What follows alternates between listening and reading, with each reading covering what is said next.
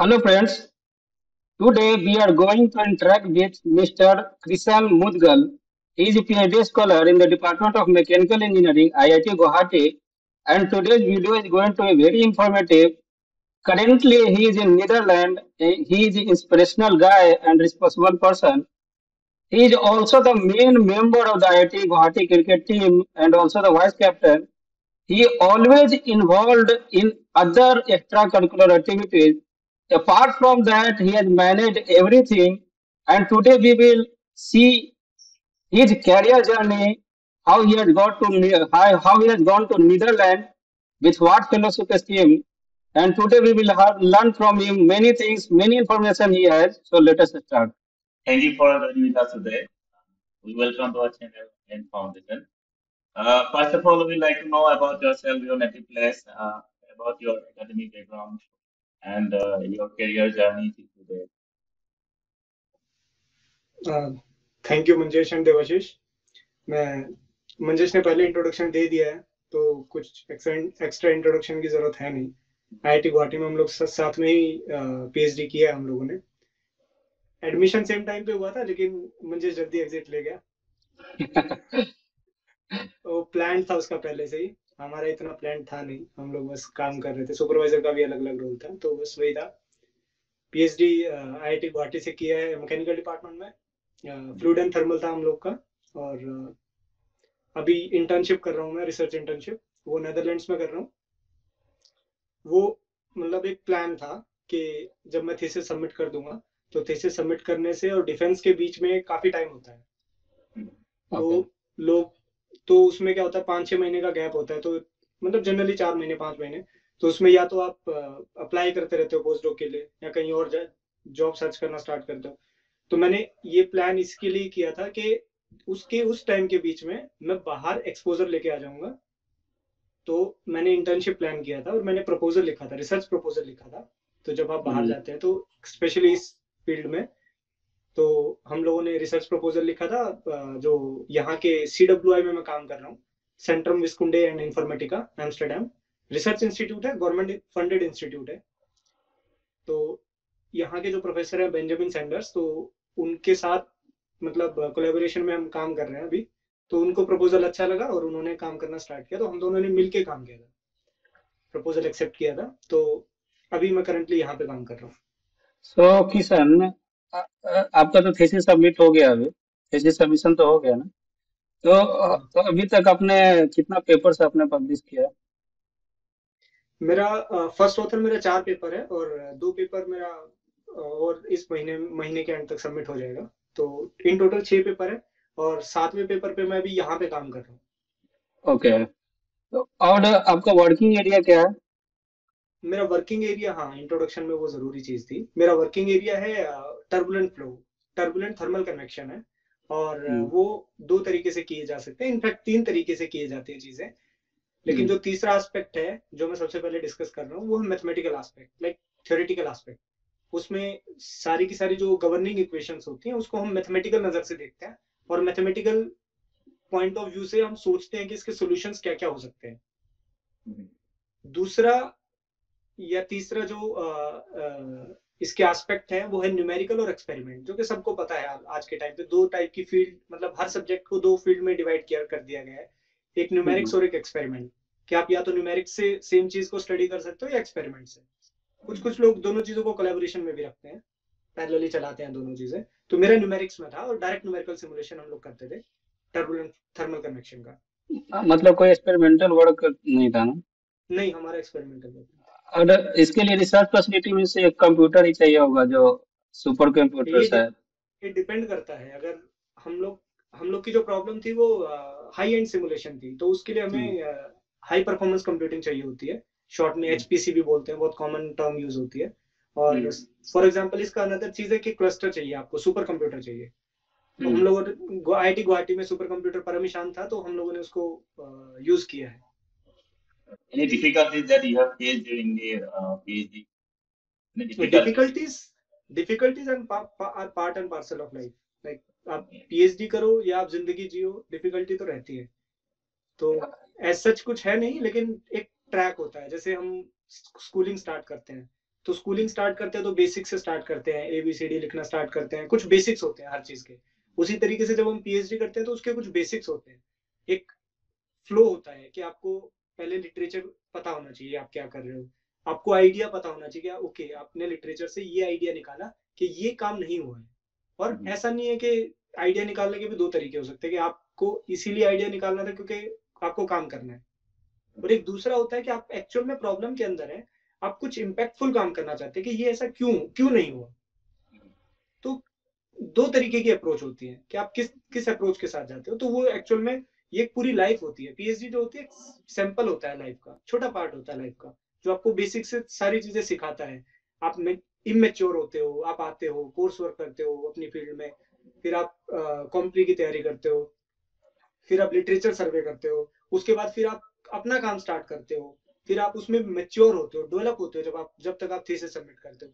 तो एक्चुअल में ये पूरी की पूरी एक लाइफ होती है पीएचडी की। और जहाँ पर लाइफ है, वहाँ डिफिकल्टी होना लाजमी है। जैसे कि डिफिकल्टी कंप्यूटर तो परमिशन मिला आपको उसके अलावा रिसर्च फैसिलिटी में कोई डिफिकल्टी नहीं हुआ। अगर आप कंप्यूटेशनल काम करते हो तो आपको एक ही फैसिलिटी चाहिए वो है कंप्यूटर वो कंप्यूटर्स हो तो उस मामले में तो आईआईटी गुवाहाटी बहुत रिच है।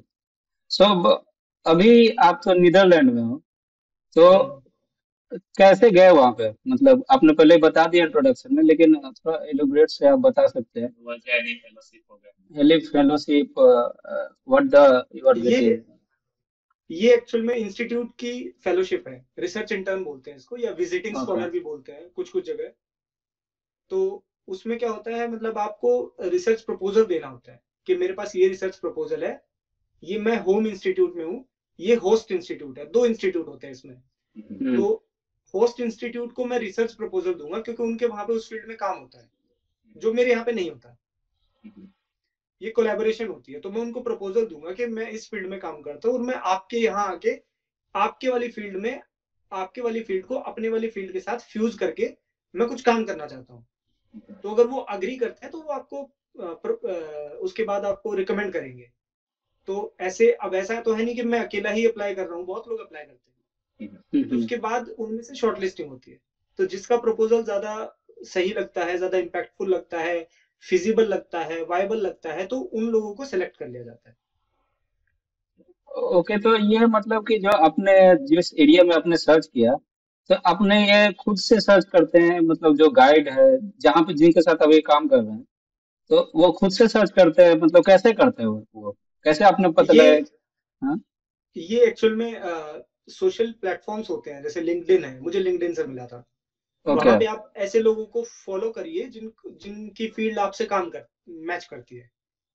तो उनके हम्म यहाँ कुछ ऐसी चीज़ें होती हैं तो वो पोस्ट करते हैं। तो हम्म आप अपडेट रह सकते हैं। ये एग्ज़ाम मतलब बेसिक चीज़ होती है कि अवेयरनेस का जनरल अवेयरनेस कि सोसाइटी में भी क्या चल रहा है। तो उसके लिए हमें न्यूज़पेपर पढ़ना पड़ता है। इसी तरीके से हम्म हमें अगर रिसर्च की फ़ील्ड में अपडेट रहना है या मतलब देखना है कहाँ वैकेंसी है किसमें किस किसने क्या काम किया तो उसके लिए हम लिंक्डइन या ट्विटर यूज़ करते हैं। बस एक चीज़ इंपॉर्टेंट होती है कि आप सिर्फ़ उन्हीं चीज़ों को फॉलो करिए जो आपसे रिलेवेंट है। अगर आप दुनिया भर की चीज़ों को फॉलो करेंगे तो फिर आप पूरा देख भी नहीं पाओगे। Okay? How is there? Funding institute का ही फंडिंग सपोर्ट है इसमें। ओके ये जहाँ पे आप हो जो इंस्टीट्यूट है वही फंडिंग कर रही है एग्जैक्टली exactly, वही फंड कर रहे हैं। ओके ओके ओके तो इसके लिए आपको वीज़ा प्रोसेस से भी गुजरना पड़ा था वो जाने के लिए? अगर बाहर जाएँगे तो वीज़ा प्रोसेस से जाना ही पड़ेगा। हाँ, तो उसमें कुछ प्रॉब्लम हो, होता है क्या? नहीं वीज़ा प्रोसेस में कोई ज़्यादा यूएस में करंट सिचुएशन में यूएस में प्रॉब्लम है वीज़ा का यूरोप में नहीं है। मेरा मेरे ख्याल से दस दिन के अंदर या बारह दिन के अंदर आ गया था। ओके अच्छा ये तो आप दिन भर में तो यहाँ जब जब तक था आप दिन भर क्रिकेट खेलते रहते थे। मैं तो आपको हमेशा ग्राउंड पे ही देखता था। और एक्स्ट्रा करिकुलर एक्टिविटी में बहुत सारा में आप पार्ट लेते रहते थे। तो कैसे मैनेज करते थे? क्योंकि अचानक मैंने देखा आप नीदरलैंड में हो आपका पीएचडी हो गया इतना पेपर है। कैसे मैनेज किया आपने? ये तो मंजेश से ज़्यादा अच्छे से कोई नहीं जानता। क्योंकि हमसे ज़्यादा क्रिकेट के ग्राउंड ग्राउंड पे तो यही रहता था। हम बस बाहर वाले ग्राउंड पे रहते थे ये हॉस्टल के अंदर वाले ग्राउंड पे सारा दिन रहता था। तो हमसे तो ज़्यादा यही रहता था ग्राउंड पे और हमसे ज़्यादा पेपर भी इसी ने पब्लिश किया है। हमसे पहले भी थीसिस इसी ने सबमिट करी है तो ये तो मंजेश ही ज़्यादा अच्छे से एक्सप्लेन कर सकते हैं कि सारी चीज़ों को कैसे मैनेज किया जाता है। बहुत अच्छे से आपने क्वेश्चन को मैनिपुलेट कर दिया। ओके नहीं, नहीं, मैं क्वेश्चन पे आ रहा हूँ। ये बस एक डिफरेंस जहाँ पर था वो ये था कि आ, मैं सिर्फ़ क्रिकेट नहीं मैं बाकी बहुत सारी चीज़ों में भी इन्वॉल्व था। हाँ ये तो था। वो एक चीज़ है कि जैसे मेस कन्वीनर था मैं एक टाइम पे। गालियाँ बहुत हम्म। पड़ती है मेस कन्वीनर को। हम लोगों ने एक बड़ी बहुत बहुत टफ टफ सिचुएशन लिटरली बहुत टफ सिचुएशन हैंडल की थी हम लोगों ने कोविड के टाइम पे। पूरे हॉस्टल को कंटेनमेंट जोन में डाल दिया था। तो उस टाइम पे हम ही लोग थे मैं मंजेश अजीत मुकेश और प्राण ज्योति था और एक दो लोग थे जिन्होंने बहुत मतलब हम लोग थे जिन्होंने एक्चुअल में वो उसको जो प्लान था या जो लोगों को खाना मिल रहा था वो पॉसिबल हो पाया था। अदरवाइज़ जिनकी ड्यूटी थी वो एक्चुअल में दिखे भी नहीं थे हॉस्टल के अंदर जिनको ये काम करना था। खैर वो अलग चीज़ थी लेकिन हाँ वो सब चीज़ें आपके अंदर तब आती है वो मतलब आपका एटीट्यूड होता है। अगर आपके अंदर ये है कि मुझे सोसाइटी को देना भी होता है जैसे आप क्या करते हो आप इंस्टीट्यूट में हो कैंपस में हो हम लोग फैसिलिटीज़ ले रहे हैं फॉर एग्ज़ाम्पल जैसे हम लोग स्पोर्ट्स में है तो हम लोग स्पोर्ट्स की फैसिलिटीज़ ले रहे हैं कैंपस से। तो आपके पास दो चीज़ें होती हैं ये आपका एटीट्यूड है एक्चुअल में। कि आप या तो आप आपको जो फैसिलिटीज़ मिली हैं आपने ली आप रहे आप चले गए। दूसरा होता है रिटर्न करना होता है। और रिटर्न आप किस तरीके से कर सकते हो? अगर आप इंस्टीट्यूट में हो तो आप कैसे रिटर्न कर सकते हो? रिटर्न करने का एक ही तरीका होता है कि आप लोगों लोगों की हेल्प कर सको। और उसका एक ही दूसरा तरीका होता है कि आप उस रोल में आओ जिसमें आप हेल्प कर पाओ। हम्म। आप इनडायरेक्टली भी कर सकते हो आप डायरेक्टली भी कर सकते हो। तो उसके लिए आप ऐसी पोजीशन में आओ जिससे आप हेल्प कर सको। फॉर एग्ज़ाम्पल क्रिकेट सेक्रेटरी रहा था। क्योंकि मेरे जब जब मैं आया था उस टाइम पे हमने देखा था कि बहुत ही कम लोग थे जो क्रिकेट ग्राउंड पे जा सकते थे एक्चुअल में। हम्म। जो सिर्फ़ क्लब के थे वही जाते थे। उसके अलावा किसी को अलाउ नहीं होता था। तो ये हम्म। चीज़ मुझे मुझे खली थी कि ये सही नहीं है। क्योंकि हो सकता है कोई अच्छा खेलता है लेकिन वो इसलिए नहीं जा पाया क्योंकि वो ज्वाइन नहीं कर रहा। तो उसके लिए फिर हम मतलब मैंने काफ़ी सारी चीज़ें करी थी इनिशिएटिव लिए थे ताकि लोग आ सके। क्रिकेट क्लब एक्सेसिबल हो।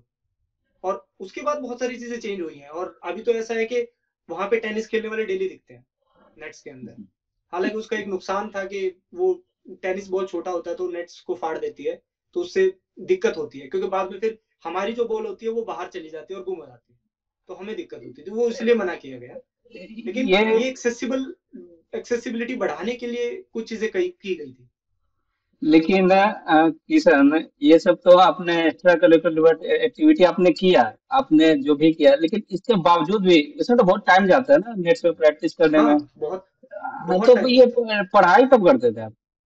पढ़ते कब थे रात में? मैनेज हो जाता था। मैनेज हो जाता मतलब बहुत अलग अलग तरीके से मैनेज होते हैं। मतलब ऐसा नहीं है कि रात में करो। कई बार रात में भी करना पड़ता है कई बार दिन में भी करना पड़ता है। मतलब बहुत डायनेमिक है बहुत चीज़ें ये जैसे कभी कभी आपके जैसे पीएचडी का होती है फ़ेज़ होता है इसमें कि आपका अभी काम का फ़ेज़ चल रहा है बहुत ज़्यादा। तो हम्म। आपका जिस टाइम पे काम का फ़ेज़ चल रहा है तो उस टाइम पे बाकी चीज़ें कम पड़ जाती है। बाकी चीज़ें आप नहीं करते हो इतनी ज़्यादा। तो उस टाइम पे आपका काम का फ़ेज़ चल रहा होता है। फिर जैसे स्पोर्ट्स का फ़ेज़ आता है उस टाइम पे फिर काम का फ़ेज़ थोड़ा कम हो जाता है। तो मतलब अच्छा। ऐसे चलता रहता है फ़ेज़ वाइज चलता रहता है। और दूसरी चीज़ होती है कई बार ऐसा होता है कि दोनों चीज़ों की डिमांड सेम टाइम पे होती है। एक बार इंटर हो रहा था और मेरा एक मेरे ख्याल से state of the art seminar था। तो दोनों चीज़ें सेम थी या एपीएस था मेरा शायद। तो वो दोनों चीज़ें बिल्कुल सेम थी। तो वो चीज़ें फिर उसके लिए क्या करना पड़ता है? फिर आपको जहाँ बाकी आपका टाइम बचा हुआ है आपको वहाँ से टाइम काटना पड़ता है। फॉर एग्ज़ाम्पल मैंने अपनी नींद से काटा था क्योंकि मेरे पास उसके अलावा कोई ऑप्शन नहीं उसके अलावा कोई ऑप्शन था हाँ नहीं क्योंकि दिन दिन भर प्रैक्टिस होती थी हमारी छह घंटा पाँच घंटा छह घंटा। सुबह भी होती थी शाम में भी होती थी। प्रैक्टिस में मना नहीं कर सकता क्योंकि मैंने कमिट किया ना कि मुझे खेलना है। पीएचडी मैंने कमिट किया जो मैं मुझे करनी है। तो दोनों की डिमांड थी दोनों की नीड थी। तो तीसरी जो चीज़ बचेगी जहाँ से टाइम निकालूँगा वो तो मुझे ही निकालना पड़ेगा ना। तो उसके अलावा मेरे पास कोई टाइम नहीं था तो नींद से नींद काटी जाती है।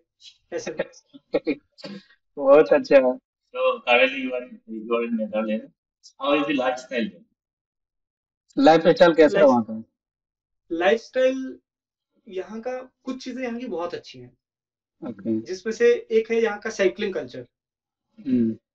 यहाँ पे कोई चार साल का पाँच साल का बच्चा हो चाहे कोई अस्सी साल का बूढ़ा इंसान हो सब लोग साइकिलिंग करते हैं ओ अच्छा। सब लोग साइकिलिंग करते हैं। लिविंग कॉस्ट लिविंग कॉस्ट कितना हो गए लिविंग कॉस्ट ये कॉस्टली है सिटी कॉस्टली है। मतलब हम्म, एक वन बी एच के भी यहाँ पे या स्टूडियो फ्लैट भी यहाँ पे थाउज़ेंड यूरो के आसपास पड़ता है। ओके और ये जो अ, ये खाने का खर्चा कितना आता होगा?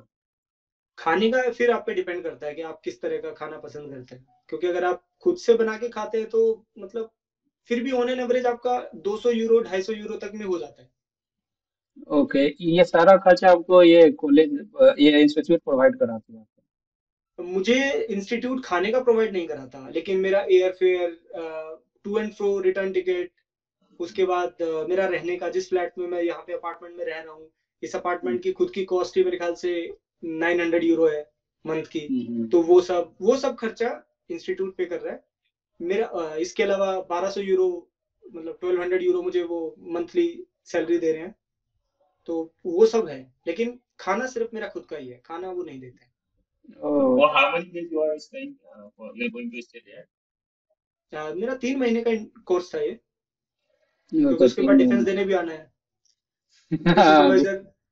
क्योंकि हम लोग को डिफेंस ऑफलाइन क्योंकि पहले जिस टाइम पे मंजेश था उस टाइम पे तो ऑनलाइन हो गया था। तो हाँ। अभी करंट सिचुएशन में तो ऑफलाइन ही डिफेंस देना पड़ेगा आपको। तो ओके ओ अच्छा। अभी आपने तो ये अब टर्बुलेंट फ्लो बताया ना अपने एरिया हाँ। तो इसमें क्या स्कोप है आपका एरिया में? क्या आपको कहाँ पे किस जगह पे आप यहाँ से निकलोगे? तो आप क्या करोगे और कहाँ पे आपको जॉब मिलेगा? आपको क्या स्कोप दिखता है इसमें?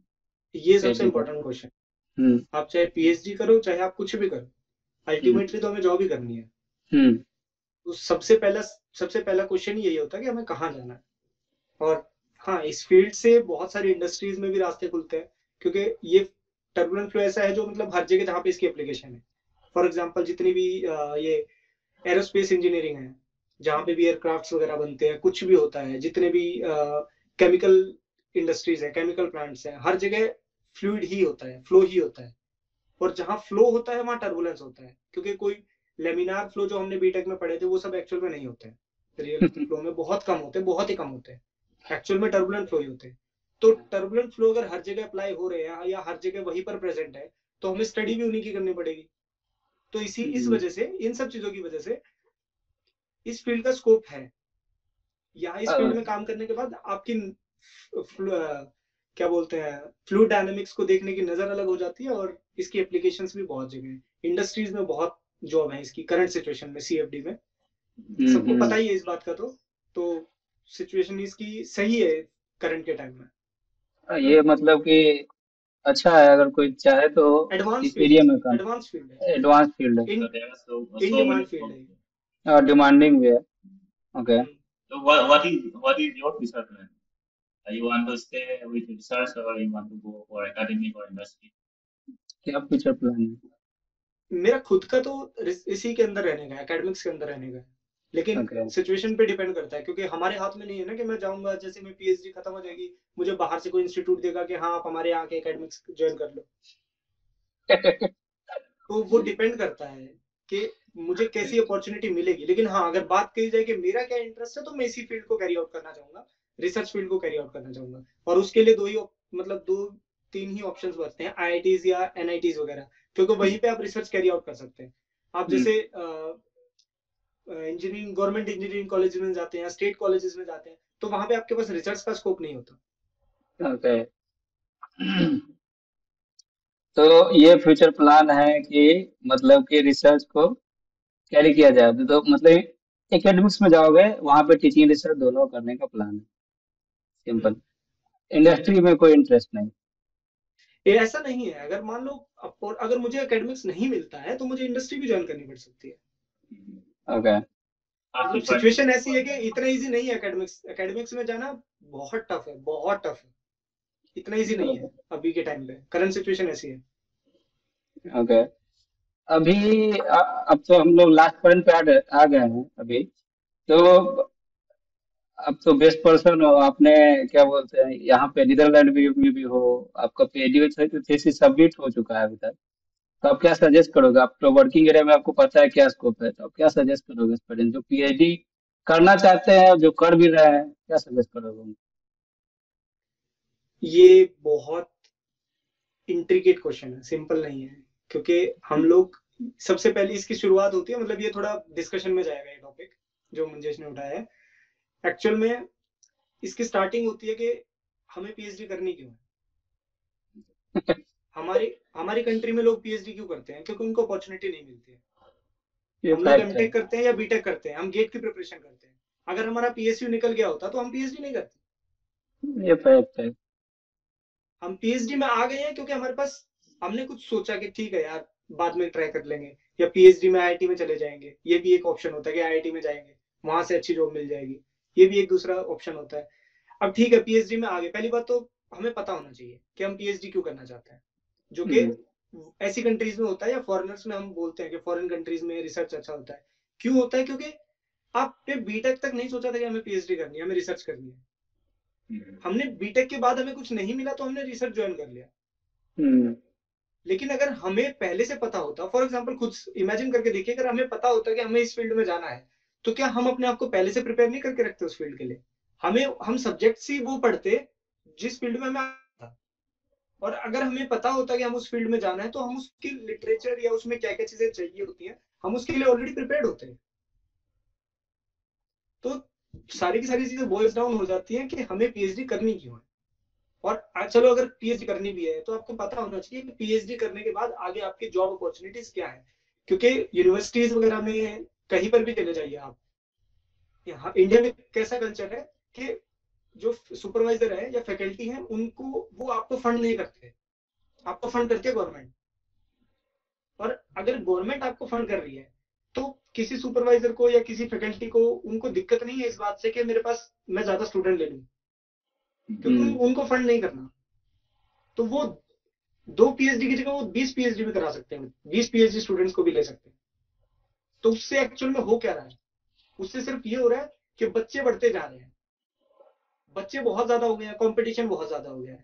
भले रिसर्च टॉपिक ना हो इतना कि बीस टॉप बीस स्टूडेंट्स को अलग अलग अच्छा अच्छा पीएचडी कराना। कैपेबल कैपेबिलिटी से बाहर हो सकता है क्वाइट पॉसिबल तो वो चीज़ सही इतनी ज़रूरी नहीं है। तो ये हमें ही समझना पड़ेगा क्योंकि पीएचडी हम कर रहे हैं।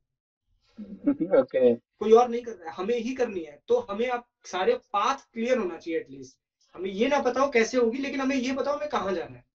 और वो पीएचडी ज्वाइन करने से पहले पता हो बेस्ट होता है। हम्म।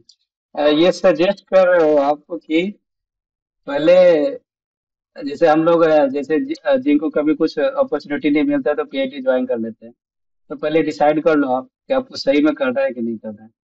सिंपल ओके सो अगर आप आप ज्वाइन करो सॉरी मंजेश अगर आप आपने मतलब ज्वाइन कर लिया और उसके बाद फिर आपको बीच में पता चला जैसे बहुत लोगों के साथ होता है। जब ज्वाइन करते हैं तब नहीं पता होता कि फ्यूचर स्कोप क्या है। शायद यही मुझे जो ऑब्जेक्टिव लगा था मंजेश जो वीडियो बनाता है जिन जिसके थ्रू मतलब चीज़ें हो सकती हैं वो बहुत अच्छा इनिशिएटिव है। क्योंकि आप आप चाहते हो आपके पास इंफॉर्मेशन का प्लेटफॉर्म हो एक कि जहाँ से आप जान सको कि इसका फ्यूचर स्कोप क्या है। गूगल पढ़ने से फ्यूचर स्कोप नहीं मिलते हैं। गूगल पढ़ने से आप गूगल बीमारी के बारे में बात करोगे आपको सौ बीमारी दिखा देगा गूगल आपको रियल में ऐसे ऑथेंटिक सोर्स चाहिए होते हैं जहाँ से एक्चुअल में आपको पता चले कि इसकी कितनी जॉब्स हैं। और वो हमें पता चलता है जब हम पीएचडी कर चुके होते हैं। और पीएचडी पाँच साल की पीएचडी पाँच साल अगर आपने इन्वेस्ट कर दिए फिर आप गवर्नमेंट जॉब भी नहीं कर सकते क्योंकि आप तीस साल के हो गए। बहुत सोच समझ के डिसाइड करना चाहिए बहुत सोच समझ के। ये तो सजेशन बहुत ही फ़ायदेमंद होगा जो ये सुनेंगे ये वीडियो को देखेंगे। और thank you mister Kishan for interacting with us and definitely it will help the aspirants और उनको बहुत ही आपने जो सजेशन दिया है, ये फ़र्स्ट बार किसी ने ऐसा इलेबोरेट में ये सजेशन दिया है। पहले आप सोच लीजिए, आपको करना है कि नहीं करना है। ऐसे बच्चे मत बनिए जो कहीं नहीं लग रहा है तो पीएचडी ज्वाइन कर ले। ऐसे मत सोचिए।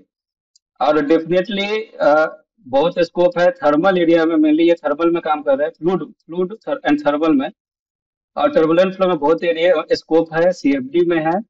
बहुत सारी जॉब है इंडस्ट्रीज़ में। एकेडमिक्स में भी यहाँ पे मैं भी हूँ बहुत सारा डिमांड है। सीएफडी में बहुत सारे प्रोफेसर भी हैं। तो आपको बहुत स्कोप है आप डेफिनेटली इसको कर सकते हैं। And one second thank you mister Kishan for interacting thank you very much